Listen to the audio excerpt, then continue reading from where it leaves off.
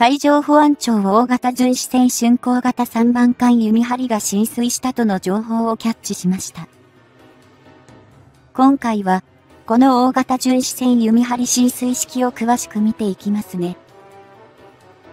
尖閣への大型巡視船強化は、本当に頭が下がります。が、まだ、巡視船の数が足りないのも、事実、170億円建造費で、海上保安庁はよくやっています。あなたは知ってました。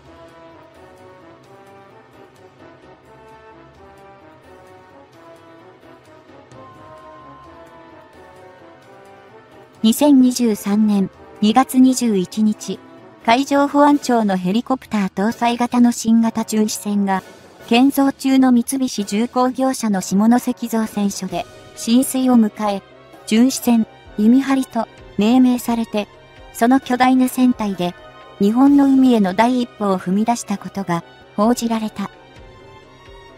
巡視船、弓張は大型でヘリコプターを2機搭載して運用することが可能なタイプの竣工型巡視船であり、1番艦、竣工、2番艦、朝凪に続く、3番艦として建造が進められてきたものである。海上保安庁における竣工型巡視船は、BHL パトロールベッセルラージウィズヘリコプターに分類され、同庁の所属の船舶の中でもヘリコプター2機を搭載できる点でも、最大規模の船舶に相当する大型艦である。竣工型巡視船は、今回の3番艦、弓張りを含めて、3隻すべてを、三菱重工業者の下関造船所が建造を担っており、1番艦の竣工は、すでに2020年2月に、鹿児島の第10管区保安本部に配属が行われている。2番艦の朝凪は、昨年2022年6月に浸水を迎えており、3番艦の弓張と同様に、この2023年度中には収益する予定とめされており、竣工型巡視船の建造費は、1隻あたりおよそ170億円強と公表されている。海上保安庁の大型系巡視船といえば、総トン数で7300トンを超える黎明型がよく知られていると思うが、同型は軍艦と同様の頑丈な構造を備えることもあり、一隻あたりの建造費はおよそ260億円強と高額であった。そのため、竣工型では、建造費用の低減もポイントとなっており、商業用の船舶と同様の構造を採用することでコストダウンを目指し、戦術したような金額を実現。で、イメイ型に比べ3分の2ほどで収めることに成功している。そうした経緯を持つ竣工型巡視船は、総トン数で6742トン、全長で約140.0メートル、採用幅で16.5メートルの船体を持ち、ディーゼル機関4機を組み合わせた CODAD 方式を採用。最大で3万6000馬力、25ノット以上の速力を確保している。シューンコウ型巡視船は、排水量が大きい孤児にも比例して、海上保安庁の巡視船の中では、並走も充実しており、主並走には、スウェーデンは、ボフォース社製の70口径の40ミリ単装機関砲1機を装備している。これに加えて、竣工型巡視船は、副兵装としては、アメリカは、ゼネラルエレクトリック社製の20ミリの M61 バルカン砲2機も備えており、海上保安庁の巡視船の中では、最も重武装が施された船の一隻だと言ってよいだろう。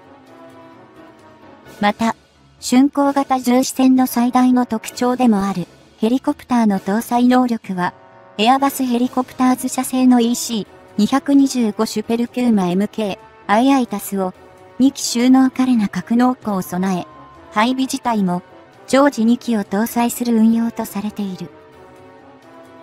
こうしたヘリコプター2機にプラスして、竣工型巡視船では、4隻の小型艇も搭載しており、これらを使用した複数の任務への対応が可能であり、合わせて他の小型の巡視艇等へ補給を行える支援機能も果たす船舶でもある。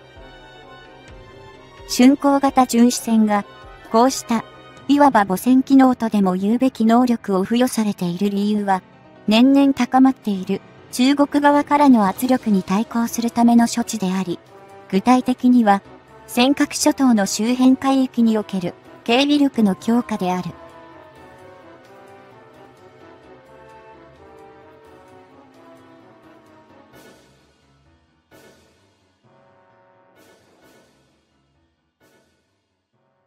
今回浸水を果たした竣工型巡視船の3番艦、弓張も、すでに尖閣諸島周辺を警備する戦従班に配備することが決定されており、その領域への侵入を常態化させている中国海峡局の船舶に対抗することが起とされている状況だ。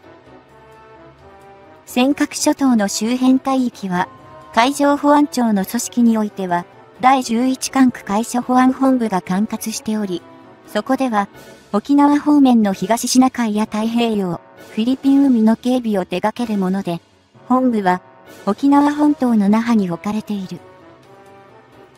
海上保安庁の中で、この第11管区海上保安本部は、最も多い人員と船舶等の装備を有する本部であるが、その管轄領域内に尖閣諸島を持つため、その領有を中国及び台湾が主張していることから、特に警備体制を強化している。中国や台湾が尖閣諸島を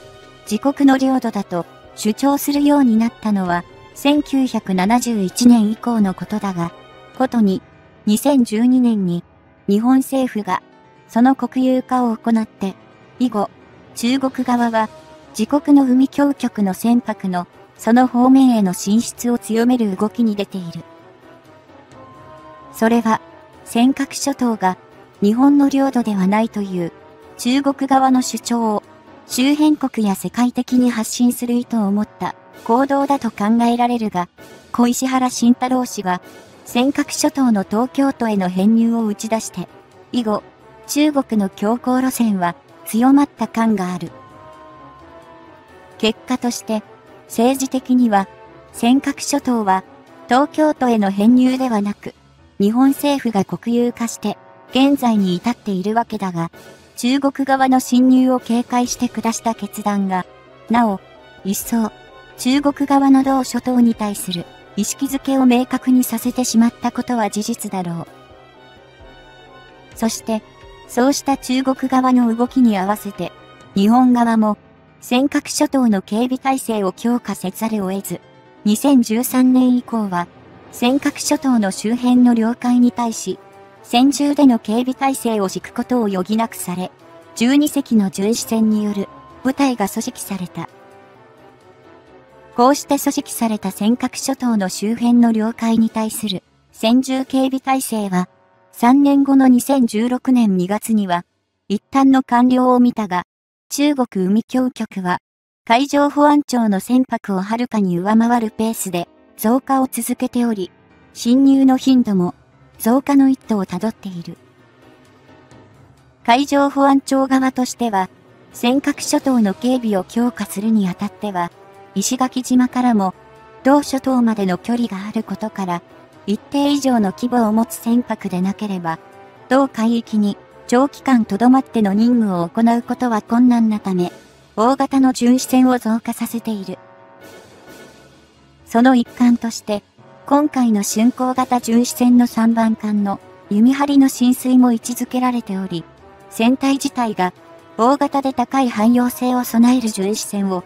尖閣諸島の周辺の領海に対する戦銃警備体制の部隊に追加する最大の目的となっている。すでに2012年度の時点では、第11管区海上保安本部に配備されていた大型の巡視園は7隻だったものが、3倍増となる21隻体制にまで拡充されつつあるが、中国海峡局の船舶の増加数には全く追いついていないのが実情だ。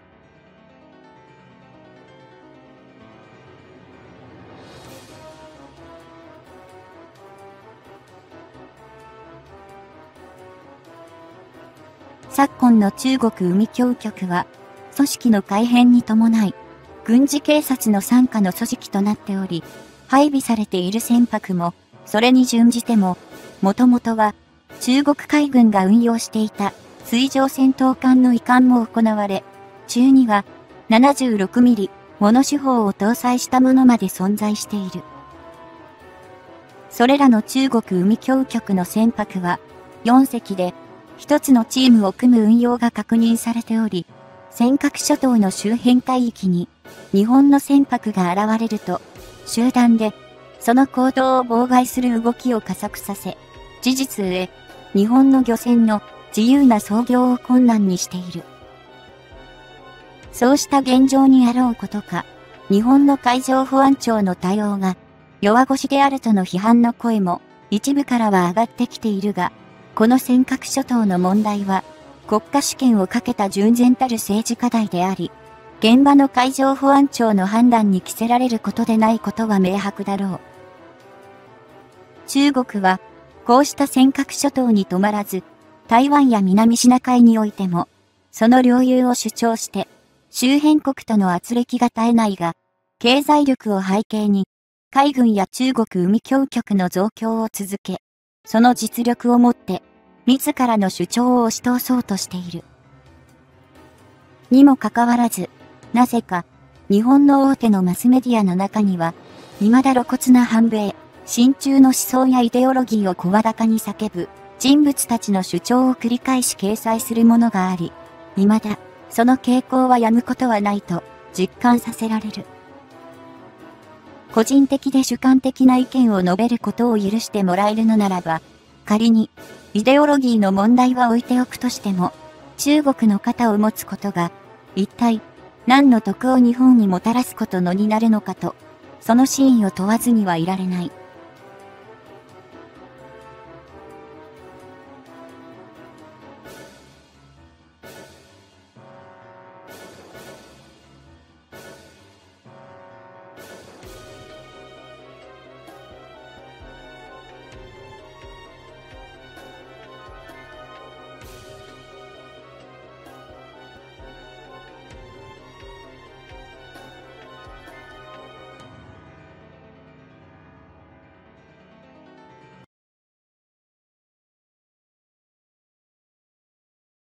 海自治機イージス艦建造で国連恐れるイージスシステム搭載艦は、最大級、4方向3次元索敵で迎え、反撃型で、ミサイル無効化を詳しく見ていきますね。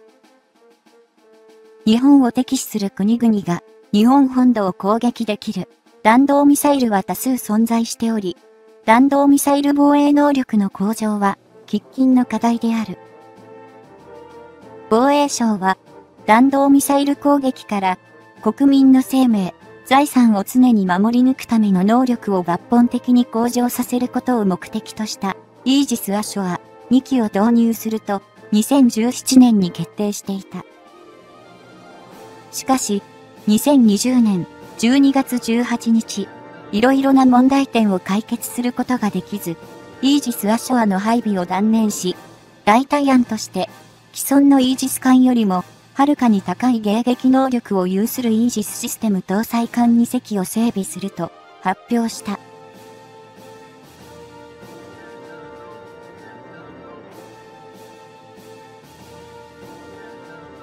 2022年12月16日、敵のミサイル発射基地などを潰す反撃能力の保有を明記した国家安全保障戦略、国家防衛戦略、防衛力整備計画の防衛3文書が閣議決定された。日本の近隣国では、北朝鮮がミサイル実験を繰り返し、ロシアはウクライナに侵攻しており、いつ矛先を変えてくるかわかりません。ウクライナへ侵攻する以前に、日本を攻撃する案もあったと報じられている。そして、中国の軍事力の整備が進んでいて、アメリカを凌駕する勢いだ。これらの理由から、日本は最悪の事態を想定し、迎撃だけの防衛から反撃能力を保有する防衛へと安全保障政策を大きく転換していった。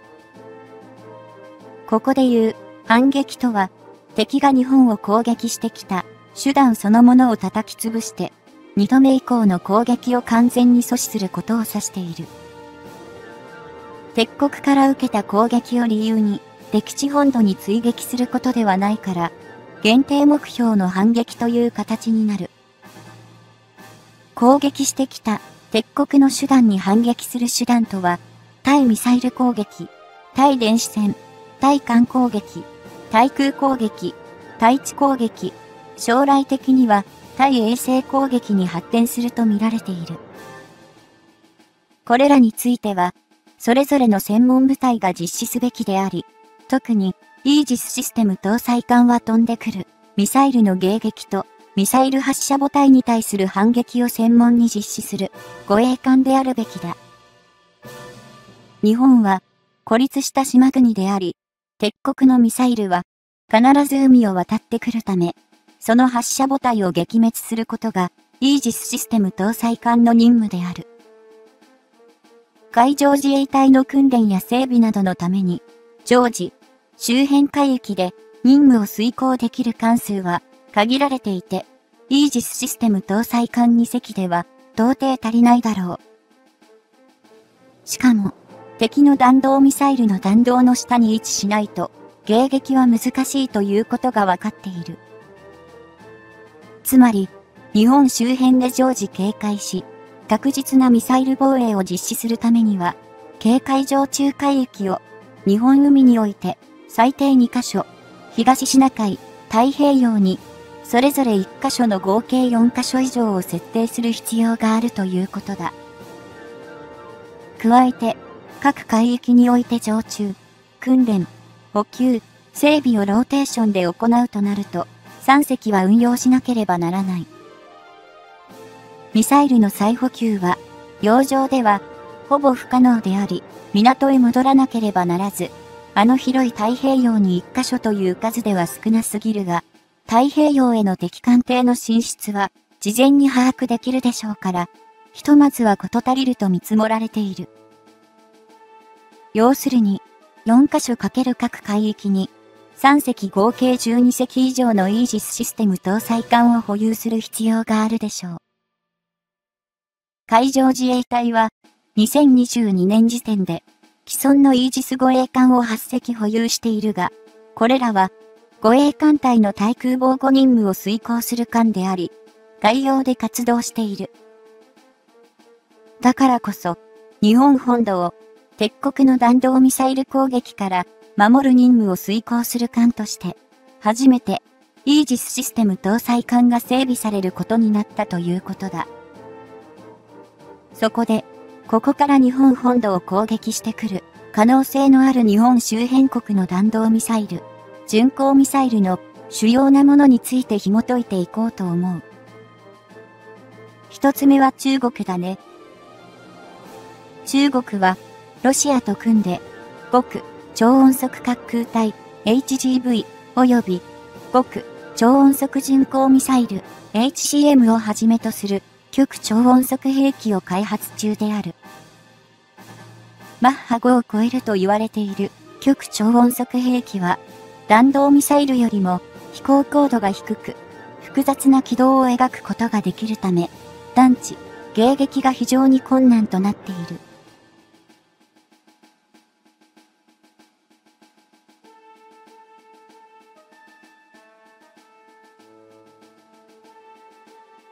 しかも、中国は弾道ミサイルに加えて巡航ミサイル YJ18 を開発しており、こいつは固体燃料ブースターで発射し、ターボジェットエンジンで巡航し、最終段階では固体燃料で速度を上げて目標に到達する機能を持っている。さらに、中国は YJ18 を発展させた CJ100、ディフェンダー100、コチ100、をもすでに開発しており、こいつはターボジェットをラムジェットエンジンに変えて速度を上げ、射程も伸ばしてきた。世界三大軍事国家である中国、ロシア、アメリカともに極超音速兵器の開発と配備を進めており、弾道ミサイルに加えて巡航ミサイルも日本の安全保障にとっては非常に大きな脅威となってきた。二つ目は北朝鮮だよ。ご存知の通り、北朝鮮は各種の弾道ミサイルの実験を時期を問わず繰り返し、日本を射程圏に収める弾道ミサイルをいくつも保有している。北朝鮮は2022年11月18日、世界最大級の大陸間弾道ミサイル火星17号の発射実験を初めて成功させた。この火星17号は最高高度 6040.9km という宇宙空間まで上昇し、距離 999.2km を約69分間も飛行して、朝鮮半島東側の日本海の公海上の予定水域に正確に着弾させたのだ。これは宇宙ステーションの高度が約 400km に位置していることから、その15倍以上の高さまで上げる技術を得得していることになる。ちなみに、北朝鮮のミサイルが日本上空を通過するのは、2017年9月15日以来、5年ぶりで7回目となる。最後の3つ目はロシアだよ。ロシアも多種類のミサイルを製造している。その中でも、ガリブルは今後数年間、ロシアの長距離攻撃の主力となるのは間違いない。陸上攻撃型は、米国のトマホークに近い性能を持っており、対艦攻撃型の終末弾道は超音速で、致命的な兵器となり得るでしょう。また、水潜水艦型もあり、魚雷発射管から発射する追戦ミサイルのスタンダード版になると言われている。発射母体は、 transporter、 erector、 launcher、通称、 TEL と呼ばれる地上の発射台付き車両のほか、艦艇、航空機、潜水艦である。陸上攻撃型である 3M14T と 3M14K においては、射程が最低でも 1500km を超え、かつ地形追従も可能とされている。2022年11月18日、北朝鮮と同様に、ロシアは RS28 サルマト、通称、サタン2の実験を成功させた。プーチン大統領が2018年の年頭教書で、アバンガルドは隕石あるいは火の玉のように目標へ到達し、ミサイル防衛システムは無力であると発表していた。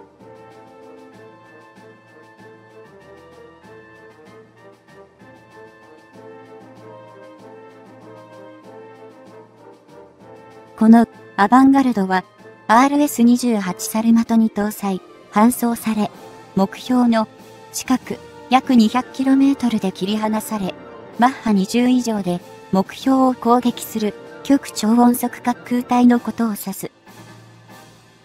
これは、さすがに、ウクライナ戦争では、まだ使用されていない。ここまでが、日本周辺を取り巻く悪しき国々のミサイルを紹介したわけだが、最後に、日本の海上自衛隊が保有する、イージスシステム搭載艦の迎撃多数反撃容量について要約する。現在のロシアとウクライナの関係のように、高い軍事力を持つ国々が、ある時、侵略の意思を持つ場合も、当然あり得ることだ。中国のように、日頃から、他国を力による一方的な現状変更は困難であると認識させ、侵略の意思を抱かせないようにする抑止力も十分に効果があるだろう。敵国の侵攻を抑止する上で鍵となるのは、脅威圏外の離れた位置から対処を行えるスタンドオフ防衛機能を活用した迎撃多数反撃能力である。後者の反撃能力を1956年2月29日に政府の見解として憲法上では誘導弾頭による攻撃を防御するのに他に手段がないと認められる限り誘導弾頭の基地を叩くことは法理的には自衛の範囲に含まれ可能であるとしていた。しかし、日本は、これまで、反撃能力を政策判断として保有してこなかったため、現在、急いで脅威圏外から対処する能力を強化しているところだ。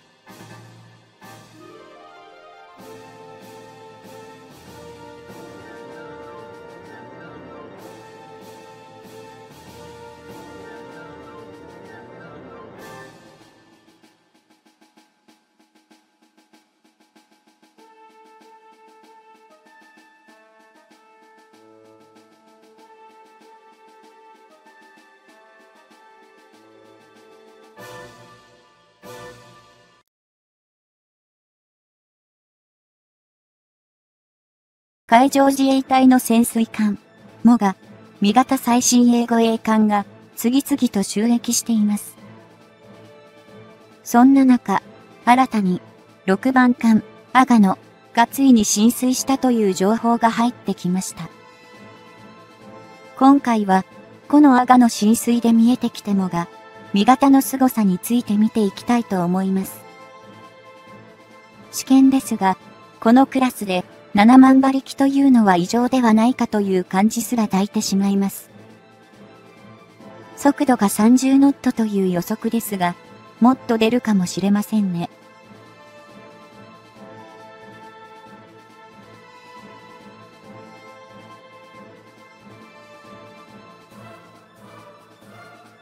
2022年12月21日、長崎市の三菱重工業者中崎造船所で、海事のもが味方護衛艦6番艦が浸水を迎え、この艦を阿賀野と命名する式典が執行されました。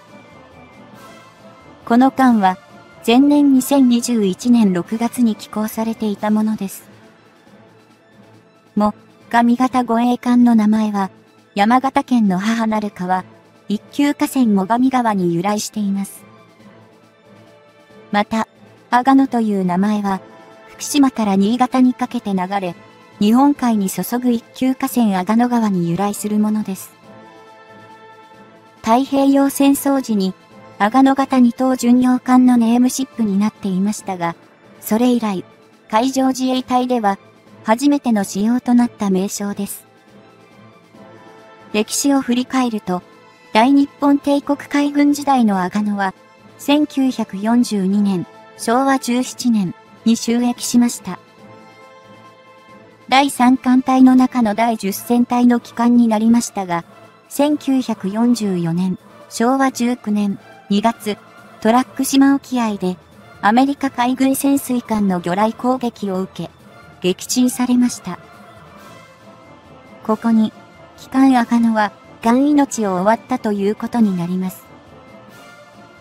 この赤野型二等巡洋艦は、1番艦阿賀野以下、2番艦の城、3番艦矢作、矢作、4番艦佐川、佐川の4隻が。太平洋戦争中に建造されましたが、ラスト4番艦佐川以外の3隻は、今のもが、味型護衛艦に。艦名が継承された形になっています。これらの艦名は、それぞれ日本の河川名です。能代は、秋田県北部を流れ、日本海に注ぐ一級河川ですし、矢作川は、長野、岐阜、愛知を経て、三河湾に注いでいます。現在は矢作川と表示されています。佐川川は、静岡県と神奈川県を流れる二級河川です。川としての大きさから言えば、利根川とか信濃川、北上川なども大きいのですが、こういった名前は、護衛艦以外に付けられています。さて、現在のもが味方護衛艦は、今回浸水した6番艦阿賀野以降、7番艦が2022年6月、8番艦は8月に寄港が行われています。大体、1年に2隻ずつが寄港され、順番に収益していくサイクルが保たれているようです。これまで開示においてもが味方護衛艦は、予算決定から約2年後に寄港、寄港から、また、約2年後に、収益というスケジュールで数を増やしてきましたが、現状22隻が建造されると見込まれているようです。も、神型護衛艦の収益については、ネームシップの一番艦も神が、2022年4月に収益しましたが、実は、2番艦熊野が3月に収益していますから、順番が入れ替わったということですね。この原因ハモが、身の機関部トラブルということですが、いずれにしても、海上自衛隊の水上戦闘艦としては、最新の艦級ということに違いはありません。ちなみに、熊野も、奈良県、和歌山県、三重県を流れる新宮川の本流です。水系名で言えば、新宮川ということになりますね。も、上型護衛艦の初言ですが、基準排水量3900トン、満載排水量5500トン、全長133.0メートル、全幅16.3メートル、深さ90メートルで、現在の艦級区分では、フリゲート艦に分類されるサイズということです。またもが、味型護衛艦の機関部には、ディーゼルとガスタービンを組み合わせたコダグ方式、CO メートルビネット、ディーゼル、ガス、ダルビエを採用していますから、燃費性能と高速性能の両立を図った上で、このサイズのフリゲート艦としても、強力な7万馬力を発生させることが可能とされています。この馬力を実現させるため、イギリスのロールスロイスホールディング社製のメートル T30 ガスタービンエンジンを1機、ドイツの満車製の 12V28、33D、STC、ディーゼルエンジンを2機搭載しました。スクリューは2軸です。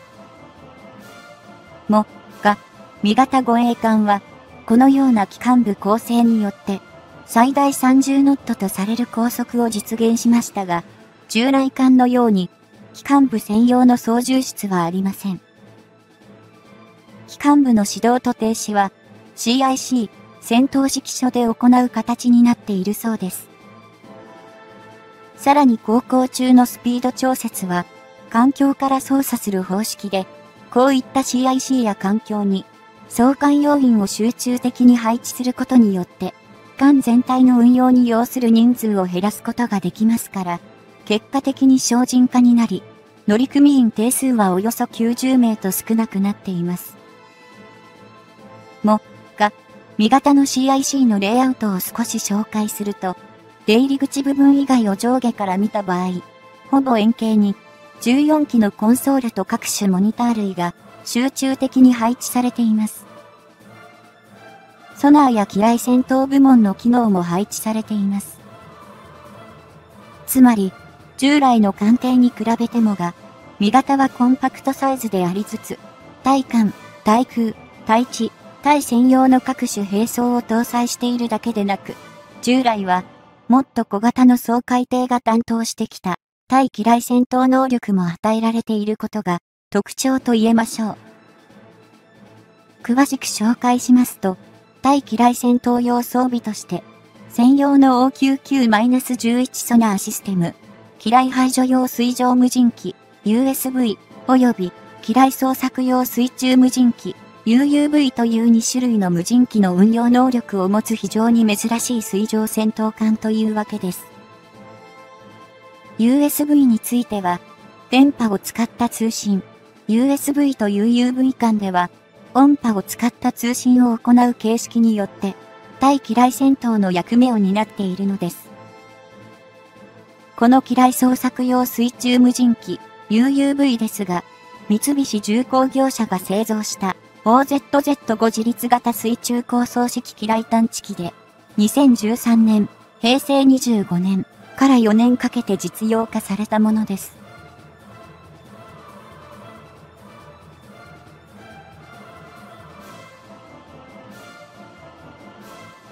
OZZ-5 自立型水中高層式機雷探知機のデータを紹介すると、直径533メートルメートル、全長が4.0メートル、重量900キログラム、最大速力7ノットと言われます。4ノットで巡航する場合の稼働時間は約9時間、GPS 及び INS 方式の誘導で、リチウム二次電池が動力源ということです。高周波合成開口ソナーには、フランスの軍需企業大手タレス社製のものが採用されているのですが、自衛隊装備品に採用されるのは、アメリカ製が多い中では珍しい組み合わせと思われますね。タレス社は、フランス政府が26.4%の株式を保有する筆頭株主ですから、フランスの国策会社と呼んでもおかしくはない会社です。さて、ここまでもが、味型護衛艦の概要や特徴について説明してきましたが、現在日本が仮想敵国としている中国、ロシアでもが、味型と同様の位置づけとみられるフリゲート艦との簡単な比較をしてみたいと思います。まず中国ですが、このクラスの艦艇は054型、公開型フリゲートです。細かく言えば、試験艦の054型公開 I 型と、改良版で、量産型の 054A 型エカイ2型の2種類に区別できるようです。054A 型エカイ2型フリゲートの初限は、基準排水量3450トン、満載排水量4050トン、全長134.0メートル、全幅15.0メートル、機関部は、複数のディーゼルエンジンを組み合わせた CODAD 方式を採用し、マックス馬力は27、200、27ノットのスピードを出せるとされます。も、が、味型護衛艦は、VLS、垂直発射艦を16セル搭載予定ですが、この艦は、倍の32セルを搭載しているので、主兵装という点では強力です。すでに31隻が収益し、なおも9隻が建造中と言われています。2022年12月、日本は安保関連3文書の改定内容に関して、中国を事実上の仮想敵国として懸念している内容を盛り込みました。これに反応した中国は、遼寧を含む6隻の艦隊が東シナ海に進出させましたが、これに前述の 054A 型エカイに型フリゲートも含まれていました。ではロシアです。ウクライナへの侵攻を続けているロシア海軍で、最上型護衛艦に相当するのはアドミラル・ゴルシコフ級フリゲートとみられます。この艦は、基準排水量4500トン、満載排水量5400トン、全長135.0メートル、全幅16.0メートルのサイズです。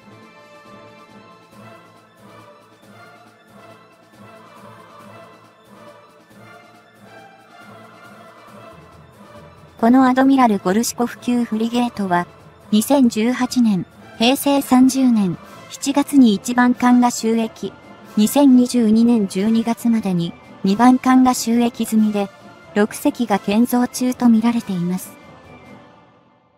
最終的には15隻を建造すると推測されています。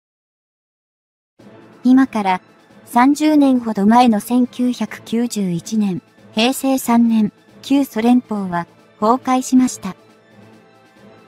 その後継国家となったロシアでも財政難が続いたことはニュースなどでもご存知でしょう。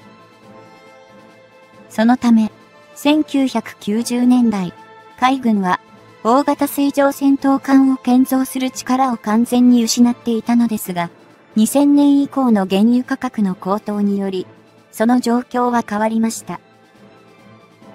ロシアには天然ガスという強力なエネルギー資源があるのです。世界的な原油価格の高騰は資源大国ロシアに経済的な余裕を与えました。国家予算に余裕ができたロシアが半ば偶然の産物とも言える悪運の強さで企画したのがアドミラル・ゴルシコフ級フリゲートというわけです。このフリゲートは海事のモが味型護衛艦と同様、機関部にコダグ方式を採用し、マックス馬力5万5000と30ノットのスピードを発揮すると見受けられます。主兵装として、前述の 054A 型エカイに型フリゲートと、同じ32セルの VLS を装備しているそうです。とはいえ、逆説的にもが、味方の凄さが際立つのではないでしょうか。しかももが、味方は、乗務員の数が、アドミラルより、桁違いに少ないのです。なのに、問題なく運用できるのというも、日本の高いテクノロジーの証拠と言えるのではないでしょうか。